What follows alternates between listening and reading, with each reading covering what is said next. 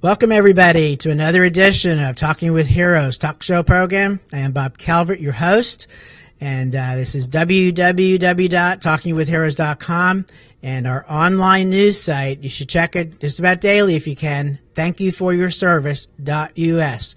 Uh, we post stories from the troops overseas, around the country, uh, from veterans, uh, all issues related to our troops, veterans, and families. And Gold Star families, the wounded, um, it's loaded with unbelievable stories. They just keep coming in every day. We're here in Washington, D.C. still. Uh, those of you who've been watching the YouTube clips, you know we were with the American Legion.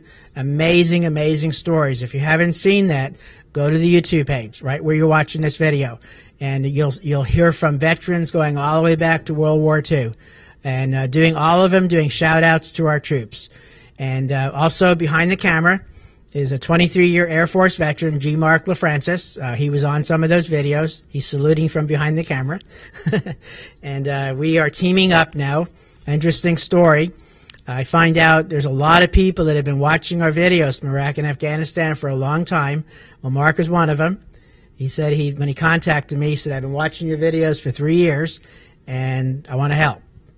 That was about a year ago. So now we're teaming up.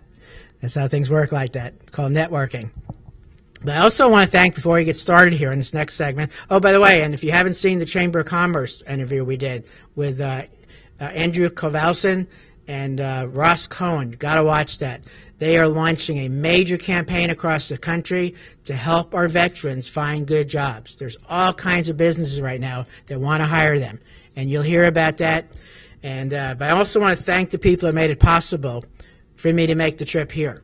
Uh, Andrew Koval- Kovalsin who you'll hear on the video, and my good friend in Colorado, uh, Colin Clark, uh, has a company, GreenOxPallets.com. You really want to check that out. Uh, amazing product they're launching actually around the world. And uh, so, well, we're here with a gentleman that contacted me just not too long ago, I believe on LinkedIn, was it? That's right. Right, we're getting a lot of good contacts on that, mostly veterans. Uh, Grant Moon, and you are a veteran, so what I'd like you to do is uh, introduce yourself, tell the listeners a little bit about yourself, and uh, and uh, a little bit about your military career. Sure thing. Uh, thanks, Bob, for this opportunity, and Mark as well for uh, for filming here. Uh, and uh, thank you all for watching. my name is Grant Moon, and I am a veteran, as Bob has mentioned. started my service in 1998. Uh, feels like an eternity ago, but uh, to all of you watching, uh, the, the time goes by very quickly. So uh, cherish it, and uh, eventually, if you have under the years of service that I do, you'll be in my position. Uh, if you have over, you know exactly what I'm talking about. but I started my career in 1998 as a military policeman, and at the time went to my AIT and basic training in Fort McClellan, Alabama and uh, had a wonderful time. Came out with, as a military policeman uh, in the Massachusetts Army National Guard, where I served for four years at that point, and uh, uh got to do some great, cool things. Uh, in 2001, I was selected for Officer Candidate School, State Officer Candidate School, and uh, I attended that. which I found was a great opportunity for especially somebody that had no college uh, and didn't have the means to go to college, I was very appreciative that uh, the military provided me at least with the discipline uh, to get get myself where I needed to be and uh, and attend college and, and and get myself well positioned for the future. Uh, so I I did officer candidate school and graduated uh, in 2002, distinguished graduate and also got an award from the Association of the United States Army for leadership uh, and started my career as an infantry officer, uh, which uh, I, I, still uh, occupy today. Um, and uh, so did that as a rifle platoon leader, did a stint as executive officer, got to go to Hurricane Katrina as a platoon leader, which was one of the most uh, fascinating uh, experiences that I've ever had in my life, uh, and, and, also most rewarding. And then in 2007, uh, while I was attending my, my graduates program, I was uh, I was pulled uh, to go with the 181st Infantry to uh, Iraq uh, and was in Baghdad, Iraq. Uh, specifically, many of you might know Camp Cropper, uh, performed detainee operations, base defense, also did some stints on a multinational review committee, uh, did some stints with uh, doing personal security details, uh, escorting, also some additional accompanying multinational forces to garner the tactics, techniques, and procedures that were being used throughout the region. Uh, so it was uh, it was a it was a great experience, and I absolutely loved every second of it. And um, you know, I, I know that uh, after serving in that area, uh, that that there's been a lot of uh, troops that have not been as fortunate as I was, uh, and and were able to come back, um, you know, as as uh, easily as I did. And uh, I, I, appreciate everything that, that our that our soldiers and troops are doing out there, and for this this generations and our past generations as well. So are you now in the reserves? That's right. That's uh, I'm right now a company commander in uh, the First Army Division East, uh, headquarters company, um, and uh, we're a training support battalion. We assist uh, so, assist train up uh, for soldiers that are deploying overseas. in addition, airmen and Navy as well, and we provide a lot of the uh, pre-deployment checklist type training that reservists require, and um, and and that's been very rewarding as well.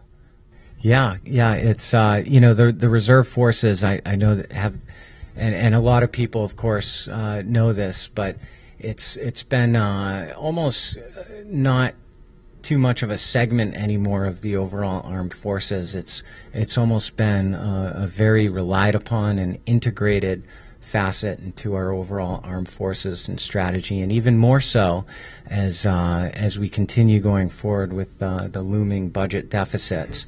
I know that the overall uh, reserve component is going to play a critical portion uh, with with with our nation's ability to to continue to sustain its defenses.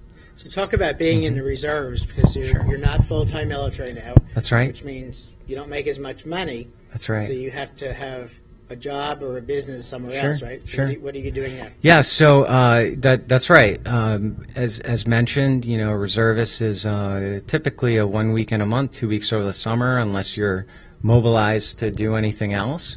Um, but in, in the interim, my full time job is uh, I'm an entrepreneur. I started a company called VA Loan Captain. Uh, and what VA Loan Captain does is VA Loan Captain provides education for veterans and servicemen on using their VA home loan entitlements. Uh, and if you don't know, the, the VA, of course, uh, for any veteran is an integral part of uh, their overall transition back into society and also having resources uh, and, and the VA home loan program offered by the VA is one of them. Uh, so what my company does is uh, it assists veterans with obtaining uh, their certificates of eligibility, assist them in educating whether homeownership is right for them. It also assists with refinancing to a lower rate for any uh, veteran that has an existing VA home loan program. Uh, but I guess the biggest thing with my product is that uh, we connect them with affiliate lenders that have signed our Veterans Guarantee Pledge that uh, ensures legal, ethical treatment high service standards, uh, and competitive interest rates. Uh, and for every loan that closes, $200 is given to one of our partner veterans nonprofits of the Veterans Choice. I think that you know the the law has not been enough to protect a lot of our our veterans and servicemen out there. Uh, and for me to build a company that assists our veterans and also gives back to society is very important. Um, and the lenders that I work with are highly vetted. Uh, and uh, I, I, need this uh, Veterans Guarantee Pledge signed by the president of the bank, where I, I specifically look that president uh, in the eye uh, and, and watch him sign the paper and uh, that to me gives a great deal of comfort. He has to obviously sit and, and uh, think about what he's signing there for a second and ensuring that he can cascade throughout his organization the same type of principles that he's signing for. So it's, uh, it's, it's relatively simple uh, and, and sweet. Uh, of course, it's, uh, I'm no attorney and we don't want to get, there, there are laws out there. But basically, what it is, and it's on my website on uh, www.valoancaptain.com. Uh, it, it's a pledge that just goes by bullet point exactly what the president of my affiliate banks are signing up for when they go ahead and, and come onto my lender platform. And uh, just in short order, some of the, the big ones is, is fair, legal, ethical treatment. That, that's number one. Uh, high service standards, number two.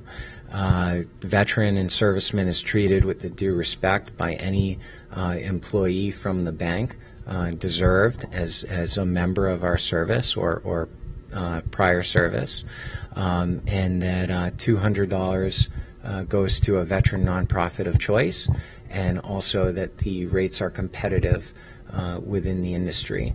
Um, and to that as well, uh, they provide me or they provide my website with uh, with those interest rates on a daily basis, so that the veteran can see as well. And we do uh, we do periodically go ahead and shop the interest rates against uh, various different banks within the industry, and find that uh, on all occasions we have found that we are at least uh, at least the same, uh, but in most occasions lower. Um, and and that's that to me is what's important um, because you know, given our service, given what we've done, uh, I believe that there there is a need to have uh, you know some sort of uh, discounted uh, mortgage program in there, um, especially with the uh, hardships that our community faces coming home, the unemployment rate. the various different costs associated with getting back on your feet, getting a job, reintegrating with your family, and so forth. So uh, to be able to lock in uh, a, a, strong interest rate on what is probably for most Americans the biggest purchase of their life uh, could certainly go a long distance for for the particular veteran on savings. So, are your lenders mostly on the East Coast, or are they at other parts of the country? Uh, all of my lenders on my platform are national uh, from a footprint perspective, but all of them have a community focus. Uh, none of them are uh, have a tarnished record with uh, with the two two lawsuits that I know of against veterans and servicemen. Um, so none of them have any of those legacy issues. They all have uh, good reputations within the business, and uh, that's that's the biggest thing for me, and uh, and that they have a, a, national footprint as well, and of course that they're approved by the VA. And they're on your website. They're uh, they're on my website. Uh, or they're on my platform, okay. Uh, but via my platform, that's how uh, that's how the veteran and serviceman connects through them, um, and and yeah, so it's it's been great, and very interested in in continuing going forward and being able to help as many veterans and servicemen as we can.